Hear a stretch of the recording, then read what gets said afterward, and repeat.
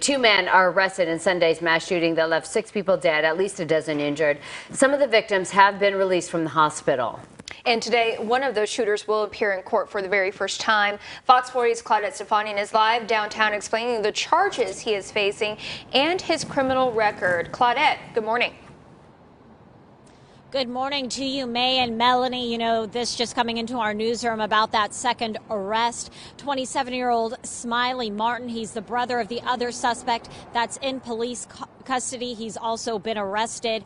And Smiley was struck by gunfire the morning of the shooting. He was taken to a hospital. Since then, he's been deemed a person of interest.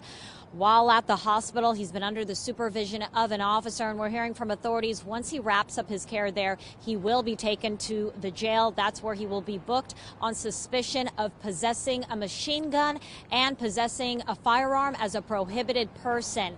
Now, Mayor Darrell Steinberg took to Twitter responding to that latest arrest, saying, quote, Thank you to all the hardworking officers in the Sacramento Police Department who have worked so methodically and quickly to apprehend suspects in this horrific shooting.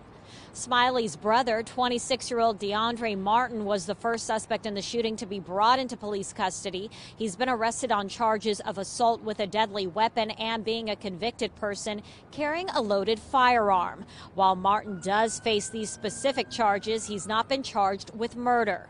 Jennifer Mouzis, a criminal defense attorney who served as a Sacramento County prosecutor for almost a decade, says it's possible for prosecutors to charge suspects with smaller offenses with the intention of elevating the charges if appropriate.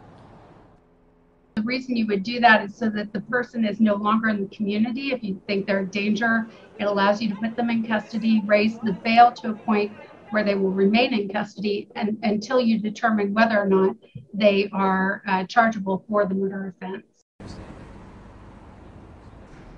Martin has previous run ins with the law. He also has an outstanding warrant to a 2014 domestic violence case in Riverside County. He pleaded guilty in that case. Court records show he did not finish the court ordered punishment. Now, back out here live, DeAndre Martin has been held without bail. He's expected to make his first court appearance later this morning. Now we are dealing with two arrests connected with this shooting.